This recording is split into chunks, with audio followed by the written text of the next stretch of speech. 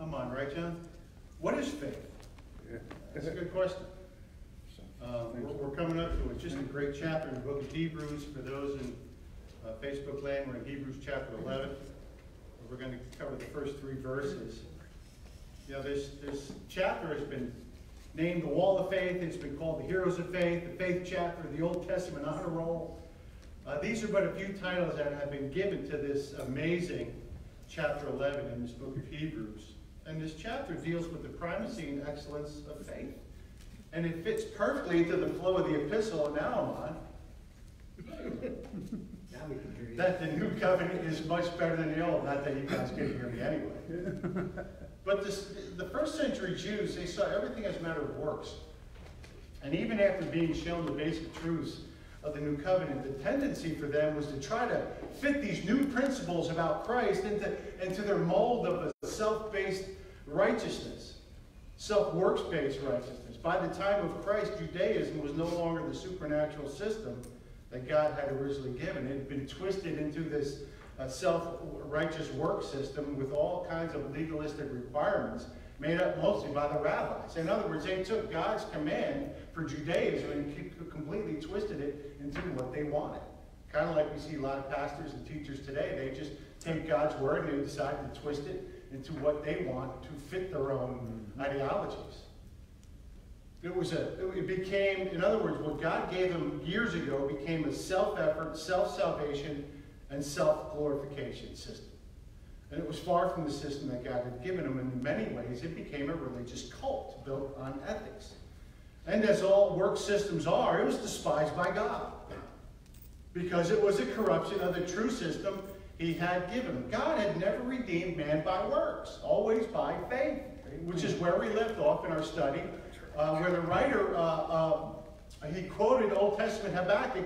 Look at verse 38 real quick. He says, But my righteous one shall live by faith. In other words, it's always been by faith. This was an Old Testament prophet saying it was never by works. It was always by faith. So basically, the two covenants are really are kind of the same. And as, as, this chapter will make clear, the whole chapter 11, from the time of Adam on, God has always honored faith, not works. However, now we're going to talk about works. Works has always been commanded as a byproduct of faith. James confirms, James chapter 2, verse 18. What good is it, my brothers, if someone says he has faith, but does not have works? Can that faith save him? James goes on to say, he answered that a few verses later. He says, So also faith by itself, if it does not have works, is dead. But he's not done. He finished the whole context with this. But someone will say, You have faith and I have works. Show me your faith apart from your works, and I will show you my faith by my works. In other words, good works completes faith. As we will see, Abraham was the perfect example. He uses a whole chapter of examples, but Abraham was the perfect example because he was actually nicknamed the father of faith. The Christian life is a life of faith. Because faith is the issue on which the matter of salvation depends. It is also the key that turns the lock on the door to eternal life. Faith is also the channel by which we receive the benefits of Christ's saving work. It is through faith, by believing, that we were saved. We didn't see Christ crucified. We didn't hear Jesus speak, did we? No. But by faith, we believe. The theme of faith connects with chapter 10, the writer, where the writer has already presented the principle of salvation by faith, of which the saints named in chapter 11 are perfect examples. It's perfect flow. And these Jews who already heard powerful arguments about the superiority of the new covenant over the old, we've been talking about that for months. Uh, uh, but in, in regard to faith, the two covenants are really the same. In other words, it's always been by faith.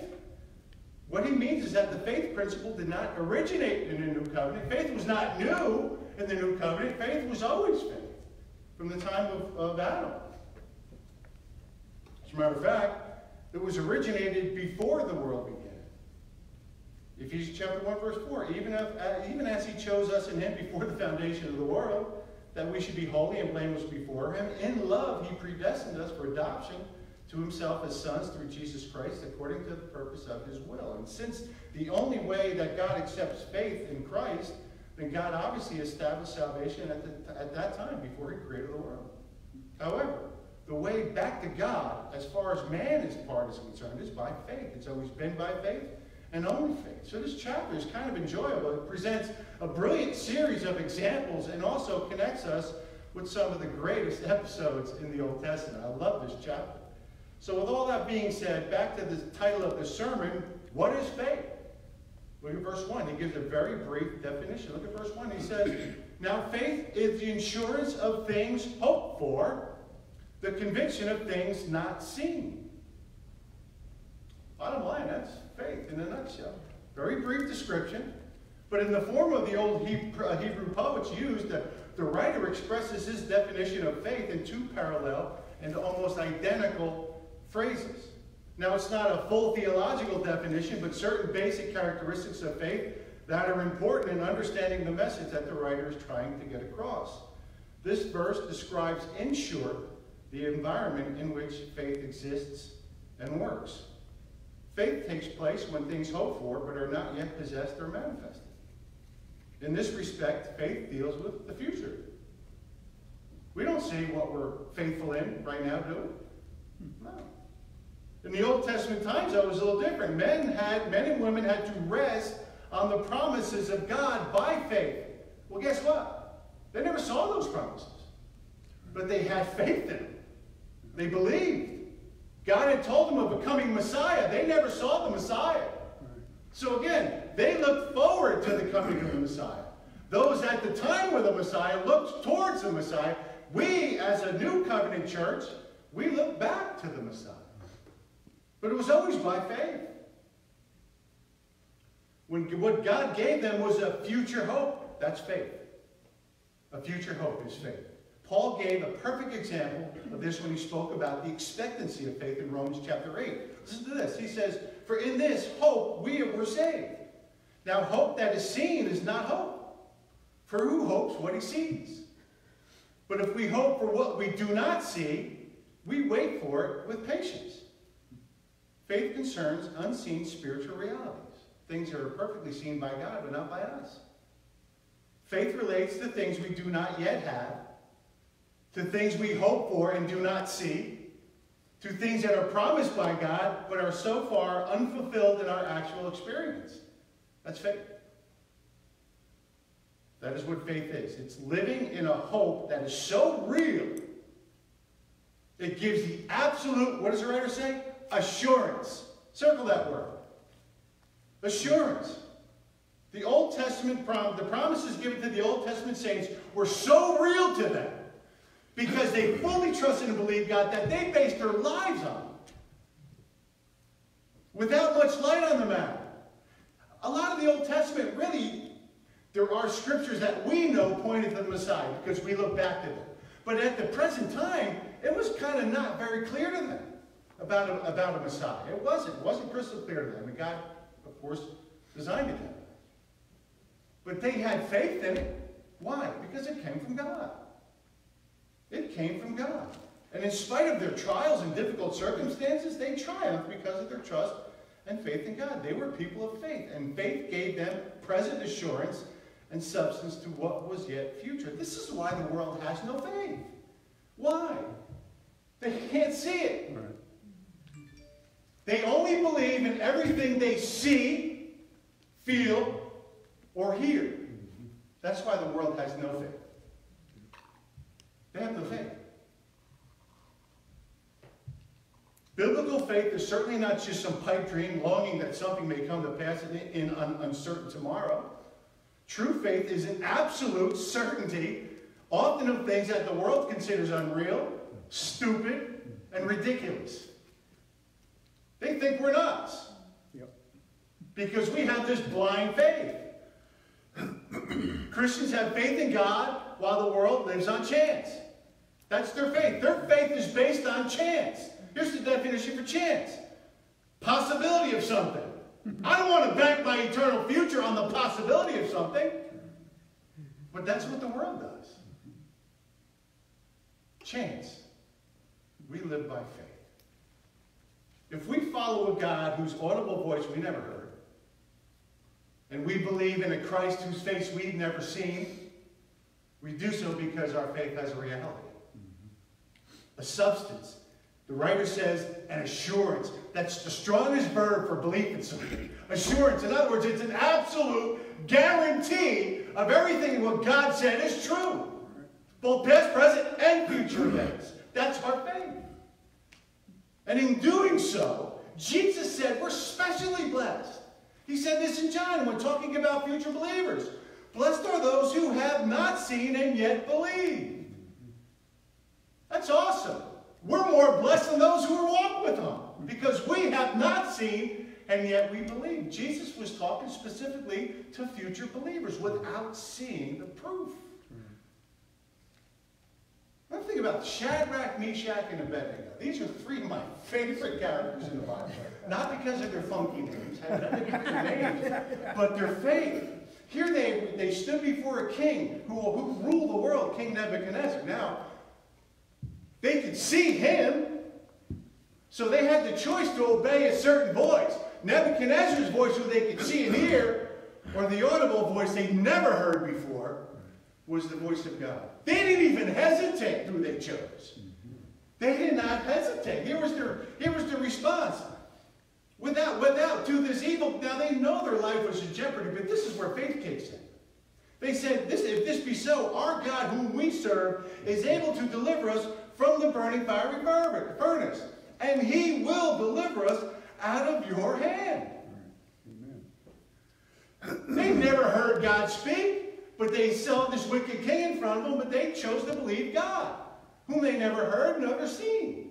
Why? Faith. Faith. Now, I'm sure we're going to see them in this chapter of faith too, but their, their response was triggered by their complete assurance. There's that word again, in their faith. The world's natural response is to trust their physical senses, to put their faith in things they can see, hear, taste, and feel. They live in the physical world. The world lives in the physical world. We are not. We live in the spiritual. Scripture plainly says we are not of this world. For God chose us out of his will. The Apostle Paul confirmed in 2 Corinthians chapter 5, verse 7, we walk by faith, not by sight. By faith, we live as if things were other than what they appear because of what God said and promised. Because the man of God puts his faith and trust in something more durable and dependable than anything he will ever experience with his senses. Senses will lie to you. Your senses, your, your, even your, your, your conscience will lie to you, but God cannot lie. And he will not lie.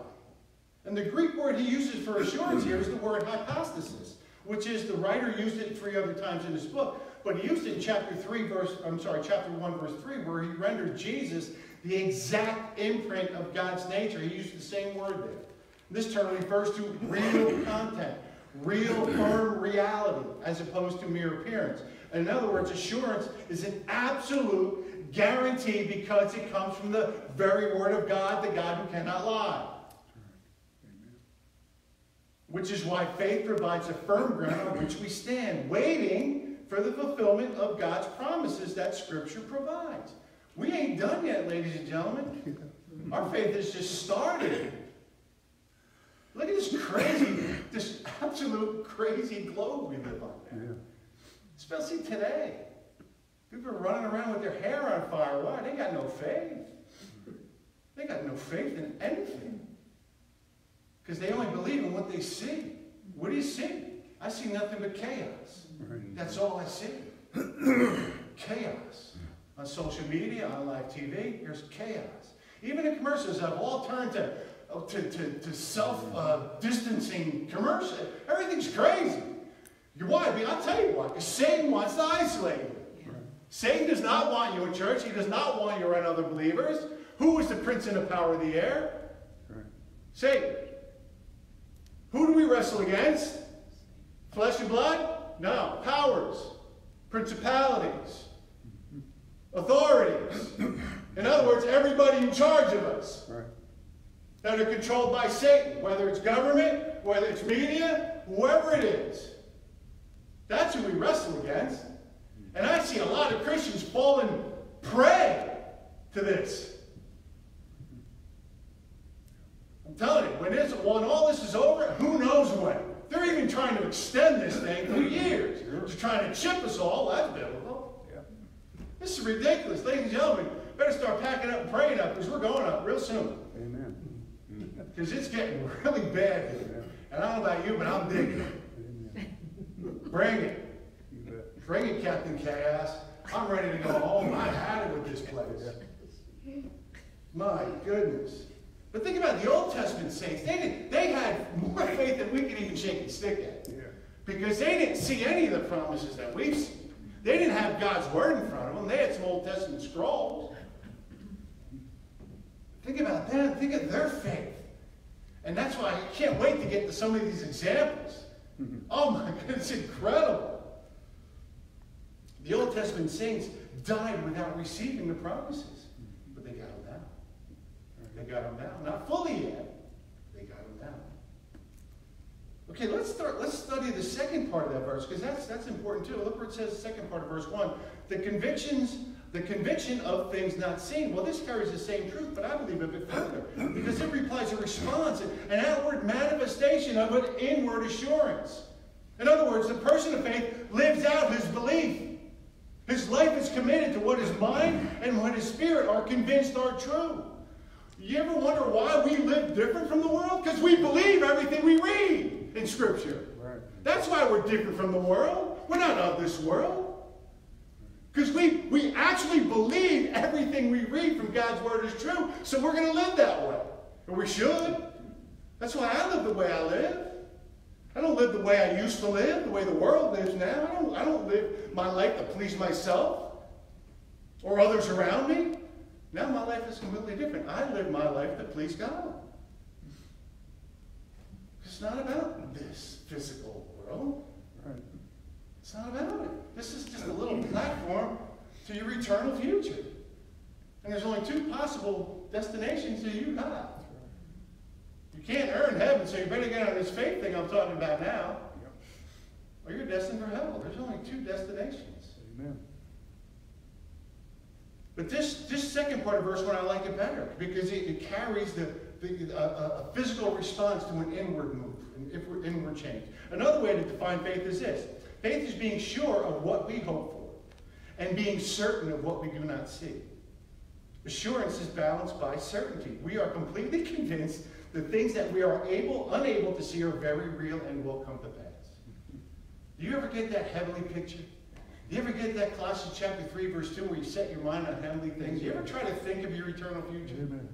I constantly do. Then I got to go cut the lawn. And it's like, hey, it's just right back into the world. It's just, it's just crazy.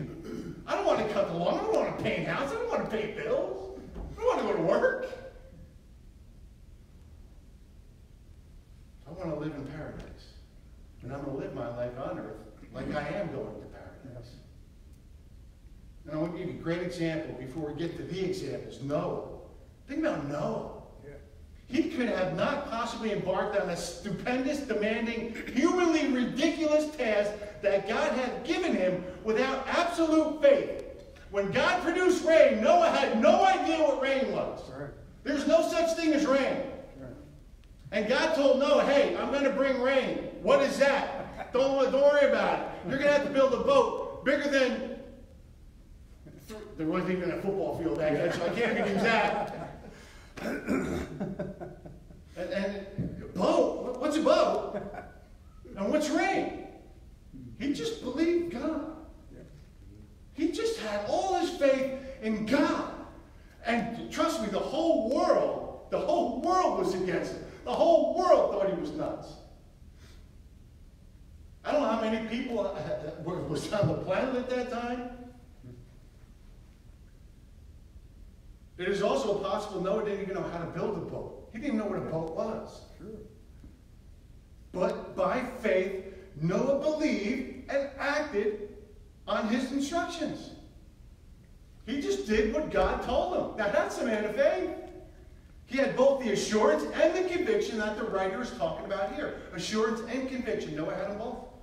His outward building in New York bore out his inward belief that rain was coming, whatever that is. I'm just going to build it because God says He's going to bring this stuff called rain, so I'm going to build a boat.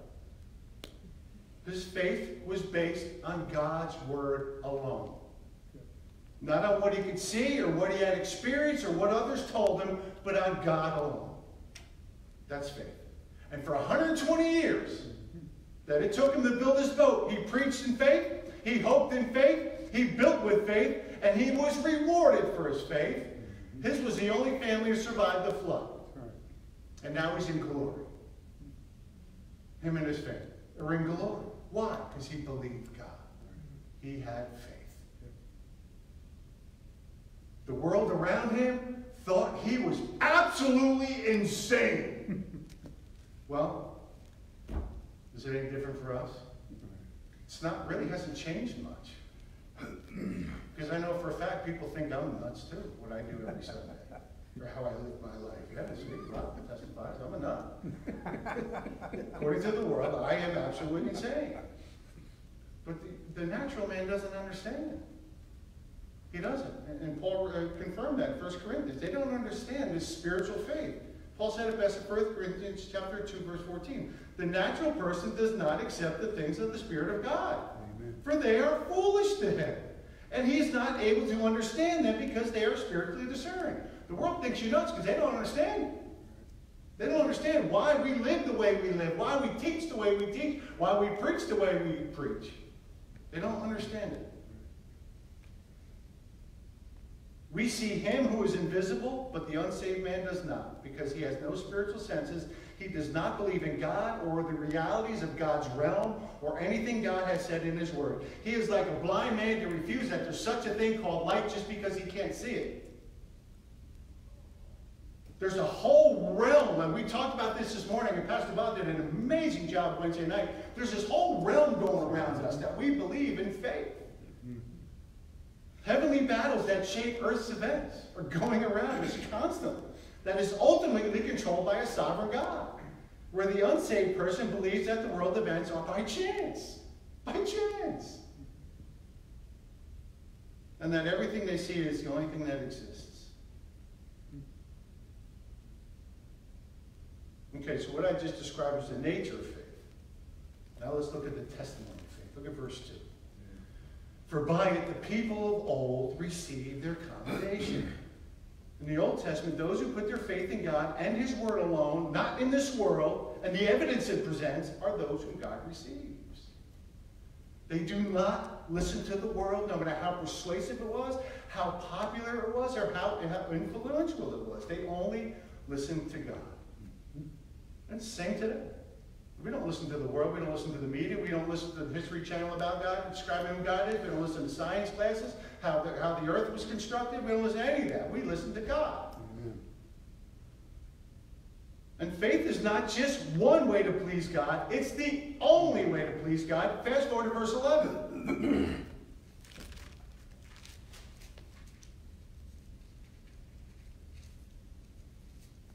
Not verse 11. Verse 6. Without faith, it is impossible to please Him. So, no matter what else we may think or say or do in the name of Jesus is meaningless and absolutely worthless apart from faith. It will never be approved by God unless it's done through faith. What the world admires and strives for is wealth, power, worldly glory, recognition, and fame. That's their commendation. That's the world's commendation. That's what they strive for. That's what everybody outside of the church strives for wealth, popularity, fame. Am I right? Health. You want to throw in a couple more? Their team to win the Super Bowl? Little things like this.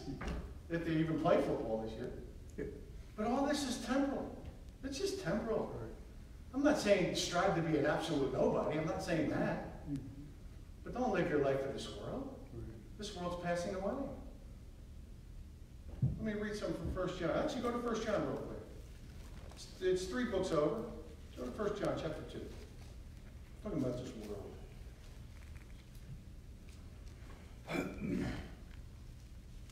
First John chapter 2, starting in verse 15. I love this text.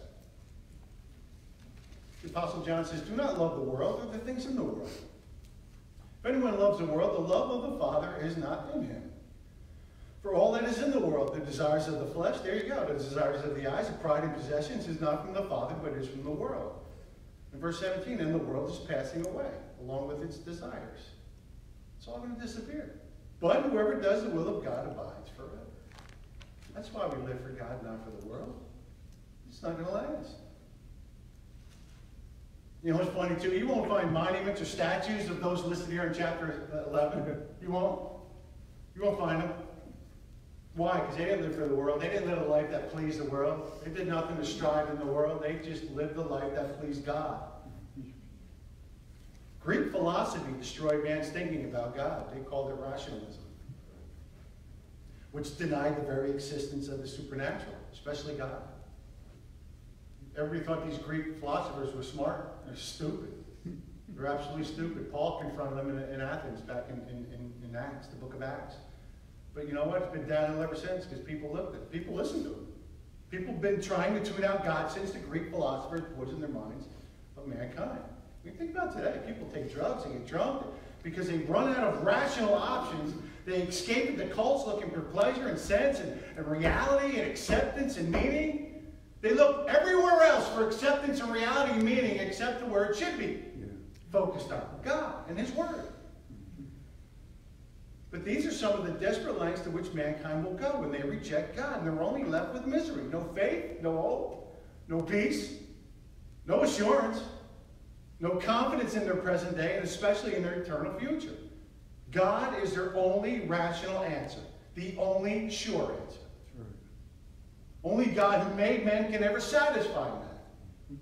Only the God who made reason can make life reasonable.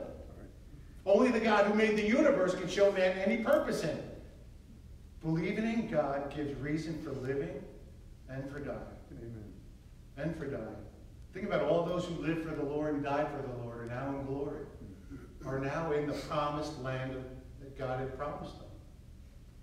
And those who ignore the Lord are in eternal damnation, waiting for their eternal sentence of certain more misery. So we looked at the nature of the faith. We looked at the substance of faith in verse 2. Now the writer gives the perfect illustration of faith. This is perfect. Verse 3. For by faith we understand that the universe was created by the Word of God, so that what is seen was not made out of things that are visible. The writer is really saying, basically, now listen, remember who the, the audience of this, of this book was, was the, the Jews, both saved and unsaved. And the writer is saying to the Jews, look, for those who haven't fully trusted Christ, you know for a fact that God did create the world. Every Jew knew that. You know that. So you had a head start on faith. You had a head start. You believe he created the world because he begins by the opening chapter of Genesis, their most important book in the Torah, where it says, In the beginning, God created the heavens and the earth. They believed that without a doubt. And they didn't see God create. In other words, the writer's saying to the Jews who are riding the fence, You didn't see God create, but you believe that? So, what, what made you just stop? Because you couldn't figure it out? If you believe that without seeing it, why can't you believe this without seeing? And you're seeing it. Some of them walk with Jesus.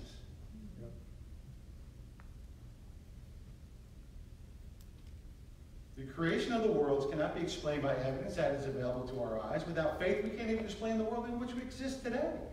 So what did they do? I'll tell you what mankind did. They created a lie mm-hmm. called evolution. The very lie that is being permeated in our school system. We have kids right now in this church that don't believe in evolution.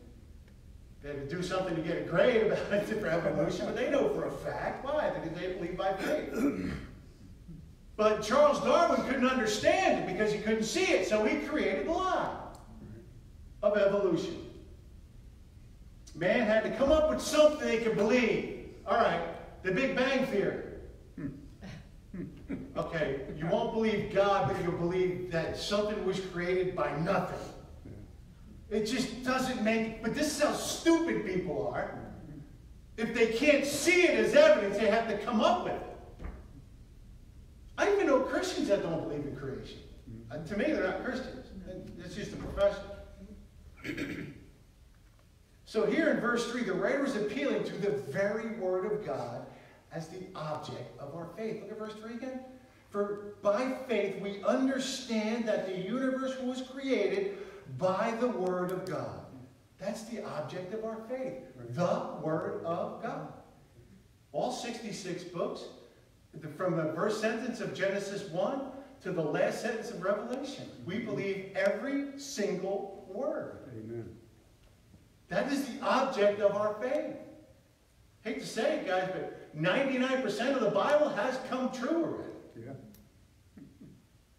And there's 1% that hasn't come true yet. And that's the most important part.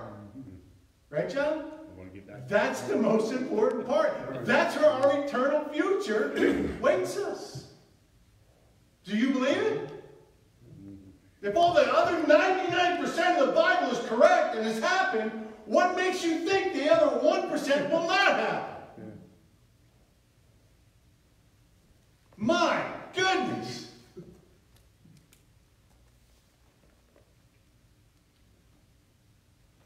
If God's word is capable of creating everything out of nothing, surely this word is also sufficient ground for our hope. Think about it. If he created the world just by speaking it, what makes you think he's not going to take us to glory like he said he would? It's the same word. It's his word.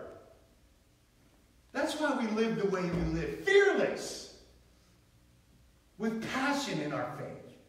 Because we're guaranteed eternal life and glory. And not only he created everything by his word, he continually speaks to creation. Chapter 1 and verse 3 of this same book, he upholds the universe by the word of his power. Faith is not blind trust, wishful thinking, a, a, mere manifestation of our positive attitude. It's our complete confidence in God's word. Complete. Jesus described it when being tempted by the devil.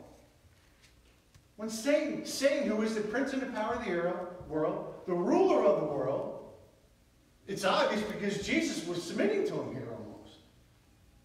Almost. When he was tempted 40 days and 40 nights, Satan guaranteed you can have anything you want, which gives proof that Satan rules the world. Because he was, he was tempting to give Jesus everything. Although God is supreme, don't get me wrong. Pay attention.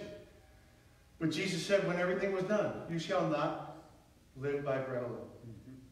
But he said by every, not by some of the words of the word of God, but by every word that comes from the mouth of God. Every word. Everyone. Our faith grows strong from His Word. Our rest secures in His Word and bears fruit from the Word. This Word is living and it's active, sharper than a two-edged sword. It is a lamp unto our feet. The Bible says it is a, a, a light to our path. That's what the Word of God is. Amen. Scripture confirms. Read, read Psalm 119. It talks about the importance of understanding God's Word. Because it's the only Word we can trust. I don't trust anything other than the Word of God. You can't put your trust in man. Robin can't even trust me fully. I'm a fallible, sinful man. Saved by the grace of God, but I'm just, only God we can trust fully. Yeah. Writing about Moses, the great theologian J.C. Ryle said this. This is so true. Listen to this. In walking with God, talking about Moses, in walking with God, a man will go just as far as he believes and no further. Yeah. His life will always be proportioned to his faith. I love that. His peace, his patience, his courage, his zeal, his works, all will be according to his faith. That's why I, I'm going to close with this. Let us pray as the disciples prayed. Lord, increase our faith. Amen. Let's pray. Father, thank you. Thank you, Lord, for this outstanding word. Faith is the insurance of things hoped for. I love that word. Father, I pray that you would just permeate our hearts with this truth, Lord, that we would live a life of faith, Father, that people would see faith in us, Lord, and ask, well, where did you get it from? Or why do you believe the things you do?